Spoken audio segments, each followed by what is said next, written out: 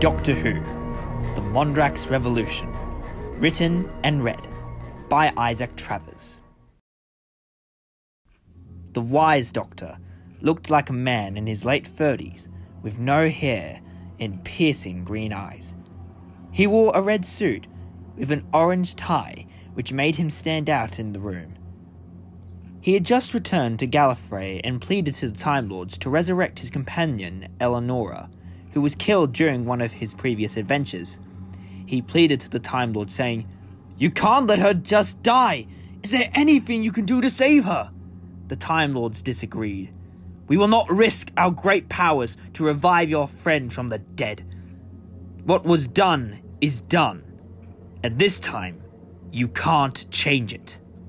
The doctor was furious that his people would not help him, and he was taken away back to his TARDIS by two guards. The TARDIS made an immediate departure from the planet and into the time vortex. While sitting on his chair and thinking sadly, he then got a message from his old enemy, the Master. The doctor got close to the console of his ship and spoke to his old friend on the scanner. All right, what is it now?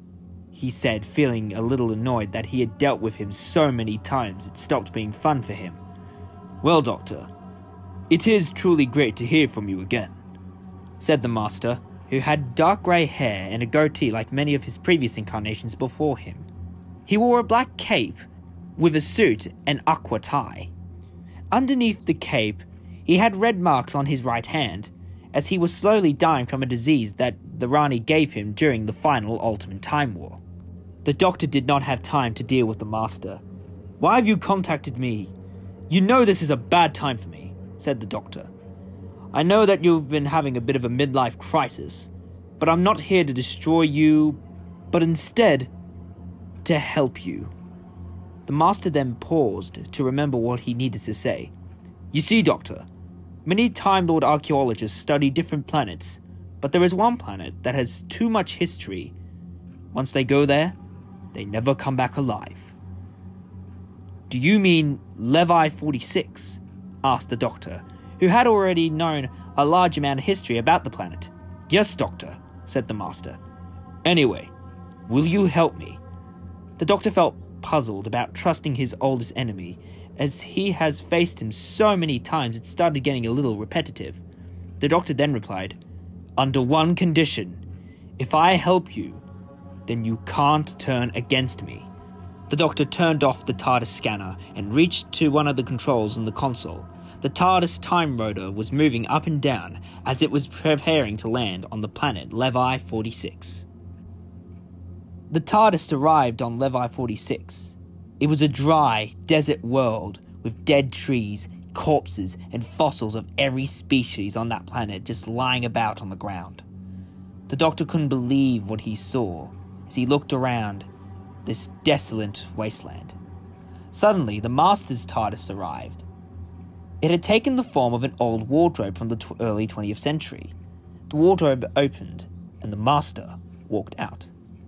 Well, my dear Doctor, I see you now on this planet of the dead, said the Master. I wouldn't say it's entirely dead, replied the Doctor.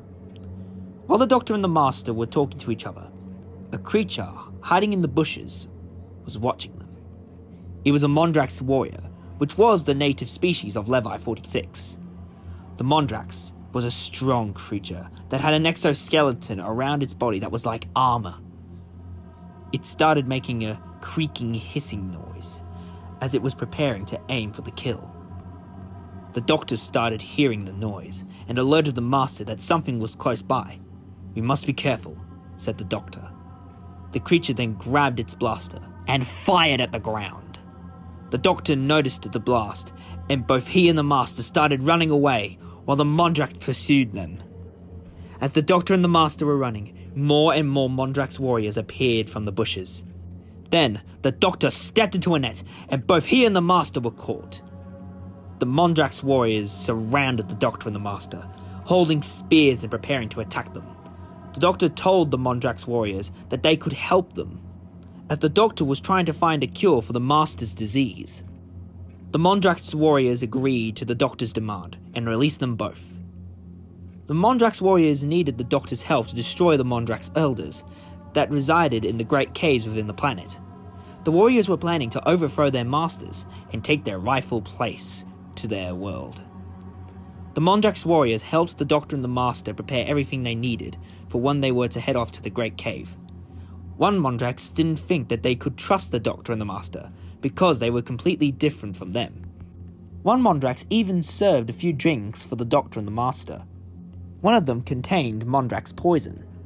The Master gave a wink to the Mondrax serving the drinks, as he knew what was about to happen to the Doctor. The next morning, the Doctor and the Master made their way to the Great Cave where the Elders reside. Deep within the wisest of all the Mondrax Elders sat a grail that held great power to those who wield it. The Doctor started strategizing the plan to get inside. After they started strategizing the plan, the Doctor started to feel a bit weak, but he hid it from everyone so no one would notice. First, the Mondrax warriors broke into the cave and ordered the elders to give them full control of the planet. Or else, the elders would be killed. The doctor ordered the warriors that they will not murder anyone in cold blood, but then he was tossed aside. The Mondrax warriors then killed the elders and had full control of the planet. The doctor then yelled out to the master, Please, help me. I don't feel good.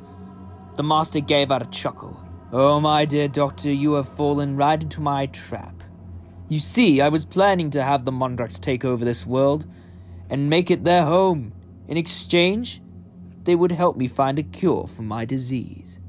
And that also means you would have to be left here to die. Slowly but surely, the Mondrax poison started to take over the doctor's body. His face was sweating constantly, and his vision was blurring constantly. The master then pulled out a blaster from his cape and aimed it at the doctor. Now, this is what you did to me many years ago. It's time for you to say goodbye. The master fired the blaster at the doctor, but instead of hitting the doctor, the blaster fired back, hitting him. Soon after, the master's hand started to glow. Damn it, said the master. You may have stopped me here, but we will both die together. I'll see you soon, doctor. And next time, it just might be your last. The master grabbed his teleport device, which sent him back to his TARDIS. The master then gave a maniacal laugh as regeneration energy started to burst out of his body as his TARDIS started to take off to leave the planet. Meanwhile, back on Levi 46, the Doctor started making his way to his TARDIS. He was starting to feel weaker and weaker as he had dissected the Mondrax poison. The poison was affecting every bit of his body. Luckily, the doctor got into the TARDIS in time. Once inside, he made his way to the console. He flicked every switch he needed to to get off the planet of Levi 46. The doctor felt like he couldn't breathe, so he took off his tie so he could get some air. He felt he was suffering from a heat stroke. Once the doctor pulled down the lever to take off, he fell to the ground. He had become weaker than ever, and he knew that his time was up.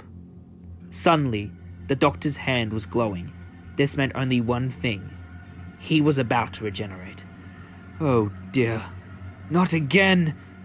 I've got too much to do, said the doctor, as he wanted to do so much more, but knew that time was running out for him. But at least it was fun while it lasted. It may be the end for me, but I welcome my new life. The doctor then regenerated.